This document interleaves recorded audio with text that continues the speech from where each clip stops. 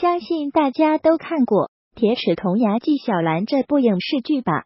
里面的反派角色和珅是一个罪大恶极的大贪官，特别的贪财。而和珅这个人是在历史上真实存在的，他既会拍马屁，还能贪污贪财，深得乾隆皇帝的宠信。但是这样无恶不赦的人。却在当时做了一件让后人都受益的事情，那就是保护了名著《红楼梦》的出版。《红楼梦》是我国四大名著之一，但是按理来说，这本书是带有讽刺的小说。可是和珅为什么要保住它呢？其实和珅并不是只会贪，他饱读诗书，聪明伶俐，《四库全书》就是他担任的总纂官。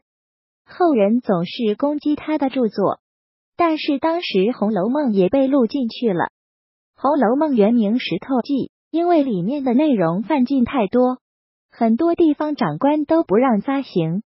但是和珅看到这本书，觉得《红楼梦》写的真好，但是犯禁太多了，他想办法把那些不好的东西除去，然后再给皇帝看。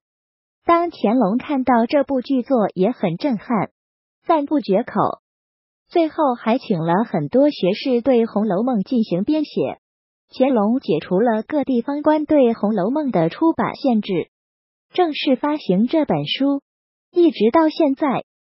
小编觉得《红楼梦》是我国文学界的瑰宝，幸亏有了和珅做了一件我们都受益的事情，所以他也并不是一无是处。